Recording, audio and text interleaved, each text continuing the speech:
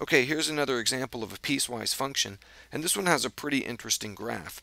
Look at the definition. There are two pieces. The first piece says that we will use this expression, 1 half x minus 1, to compute the value of the function whenever x is not equal to 4. So this one value of 4 is the key value. When x equals 4, the function simply has a value of 3. As long as x is not equal to 4, the value will be computed with, with this expression. And this is just a line. So let's think about this line. 1 half x minus 1. It has a slope of 1 half and a y-intercept of negative 1. So we can graph that.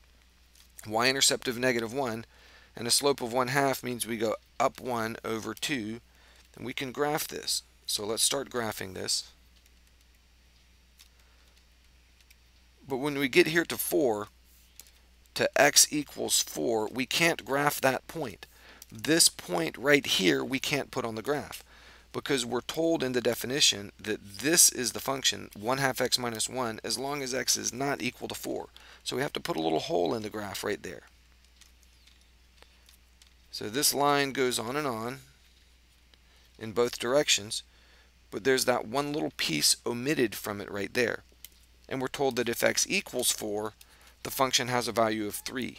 So right there at x equals 4, the graph has a value of 3, and that's this point right up there. So this function is simply a line right there, but that line has a, one infinitely small gap in it. Now obviously I can't draw this infinitely small. This is just the, the way we represent that single missing point. This line is a perfectly continuous line except at one little tiny infinitely small point. And at that x value, the, the function has a value of 3 instead, right up there. So that point just sits up there all by itself. Okay, example 8. In this case, we're shown a graph of a function, and we're told to write the definition for the function shown. Well, this is in two pieces, so we just need to be able to look at these, these lines on this graph and discern what, what uh, equation represent those, represents those lines and for what x values those equations apply. So this is going to be a piecewise function, so we'll write f of x equals, and we'll put our curly braces, and there will be two pieces. Now let's think about this first line right here. Let's imagine that line that I just sketched in yellow. If you continue the trend here you see that this line has a y-intercept of 4 and you can see the slope from any point we go up 1 over 2 up 1 over 2 so this line has a slope of 1 half and a y-intercept of 4 so I say that my function is 1 half x plus 4 and that equation applies whenever x is less than negative 2 so I just need to write that. x is less than negative 2. And I don't put a less than or equal to because I see a little open circle on my graph right there. If x is equal to 2, right here, this is the value of the function right there. So if x is equal to negative 2 or greater than, then I'm along this line here. And this is pretty easy. You can see the y-intercept there is 2, and again, the slope is 1 half. We go up 1 over 2, up 1 over 2, and so on. So this line is 1 half x plus 2. So let's write that. 1 half x plus 2 if x is greater than or equal to negative 2. And that's it. That's the definition of the piecewise function shown in the graph here. Two pieces, one piece representing one section of the function and another another definition for the other piece of the function. And one more example. Write the definition for the function shown.